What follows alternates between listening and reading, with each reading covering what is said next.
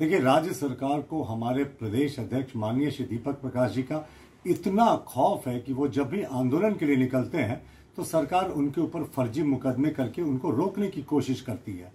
इससे पहले उनके ऊपर देशद्रोह का एक फर्जी मुकदमा किया गया, जिस पर हाईकोर्ट ने किसी भी पीड़क कार्रवाई करने से रोक लगा दी। इस बार वो किसानों के हित में खेतों पर उतरे तो राज्य सरकार ने घबराकर फिर से एक फर्जी मुकदमा कर दिया।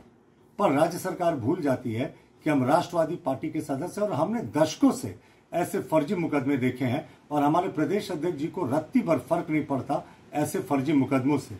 हम लोगों ने जो किसानों के हित में आवाज़ उठाई थी, इस आंदोलन को अंजाम तक पहुंचाएँगे और हमारे प्रदेश अध्यक्ष जी के नेतृत्व में ही ये आंदोलन चलता रहेगा। राज्य सरकार को समझना चाहिए कि वो अपनी दमनकारी नीतियों से किसी आंदोलन को और भाजपा के आंदोलन को तो कतई नहीं दबा सकते। न्यूज़ अपडेट के लिए आप हमारे चैनल को सब्सक्राइब करें। आप हमें फेसबुक और इंस्टाग्राम पर भी फॉलो कर सकते हैं। बने रहे लगातार डॉट इन के साथ।